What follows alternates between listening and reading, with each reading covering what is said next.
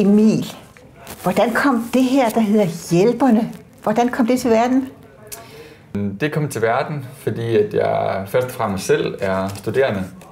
Studerende i hvad? Øh, I kaospiloterne. En, øh, en treårig uddannelse, der ligger i Aarhus, som øh, beskæftiger sig med iværksætteri og projektmageri. Med et fokus, hvor vi ligesom ønsker at, at gøre verden til et bedre sted. Og så fra selv er studerende. Ja. Og øh, så er jeg også vokset op sammen med min farmor, fra cirka da jeg var 11 år gammel, og hun var omkring 2-73 år.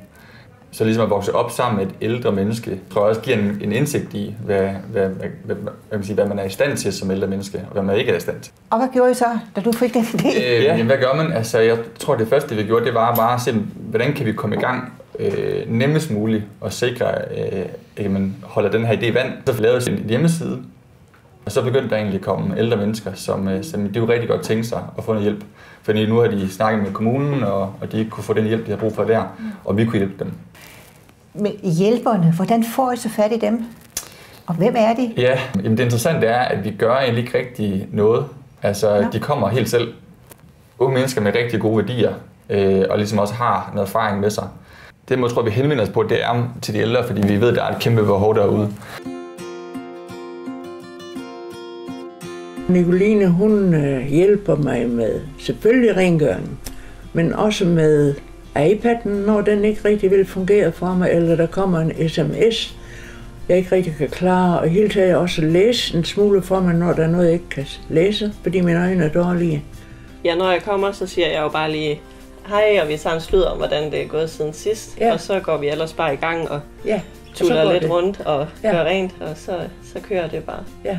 Emil, hvad er jeres rolle så? Vores rolle, det er egentlig at stå for øh, sige noget af det kedelige, men ikke desto mindre vigtige. Og, øh, og det er, at vi sikrer, at, at hjælperne er forsikret. Så hvad kan man sige, når de er ude og hjælpe øh, fru Hansen eller herr Nielsen, øh, så hvis de lige kommer til at smadre en computer, eller spille øh, hælde kaffe ned i tastaturet eller andre ting, så er det ligesom dækket. Så det er ligesom noget, vi sørger for. Og derudover så sørger vi selvfølgelig også for selve, at formidlingen sker, altså kontakten foregår, og også noget af det administrative i forhold til at sikre ligesom, i forhold til betaling osv. Den måde, som vi har råd til ligesom at, at kunne betale for vores hjemmeside osv., det er jo, at vi, vi tager en, en kommission af, ligesom når vi forbinder den ældre og den unge igennem timelønnen. Hvem samarbejder I med? Fordi noget af det, I laver, er det ikke ligesom en sideløbende med hjemmehjælpere, og hvordan, øh, hvordan er det med Aarhus Kommune? Hvordan ser de på jer? Ja, jamen altså, det er sjovt, for jeg tror, der er en del øh, ældre, som også tænker sådan, jamen, øh, hvis jeg så bruger hjælperne, kan jeg så ikke få hjælp hos kommunen. Øh, og det forholder sig egentlig faktisk lidt omvendt. Øh, forstået på den måde, at øh, Aarhus Kommune, og egentlig også andre kommuner, øh, Sydjurs og Nordjurs, har faktisk taget kontakt til os. Altså det har været enten forebyggelseskonsulenter, der har været ude på besøg ved nogle af dem, der bruger os og fortalt om os, hvor de derefter ligesom har kontaktet os og spurgt, jamen, jeg har hørt fra, fra Grete øh, om hjælperne. Øh, hvad, hvad er I for nogen? Og, øh, og det har egentlig gjort, at vi har indledt en dialog med dem. Min mand og jeg, der blev begge var over 90, vi kunne ikke mere klare rengøringen selv. Og så måtte vi jo se, hvad vi kunne finde ud af. Og så så min mand en dag på computeren, at der var oprettet noget, der hed Hjælperne.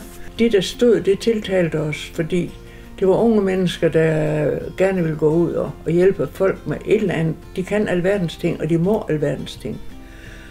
Så øhm, synes vi, det var sådan et godt initiativ af de unge. Altså, det er bare lige tilføje i forhold til Aarhus Kommune. Altså, vi har ikke et formelt samarbejde. Vi er en socialøkonomisk virksomhed, men ikke mindst en virksomhed, øh, hvor, hvor de er meget grænser af, hvad de må sige ja til. Men, øh, men de vil rigtig gerne. Så det er ligesom det lov, vi fortsætter gang i. I forhold til, til de unge studerende, så øh, har, er jeg blevet overrasket over den lyst, og den energi, der har lyst til at være med til at få det her til at lykkes. Altså, det de siger, hvis jeg skal prøve at citere nogle af dem, er ligesom, at de synes, det er fedt, de kan mærke, at de er med til noget, til at starte noget op, som virkelig har en værdi, og ligesom også, at de kan mærke, at de har en indflydelse, at de rent faktisk kan gøre en forskel. Det er jo lidt det, som vi, som vi ønsker med hjælperne, at vi har bygget relationer på tværs af generationer, øh, så der kan ske en, en udvikling, og den livserfaring, som den ældre har, kan blive videregivet til næste generation.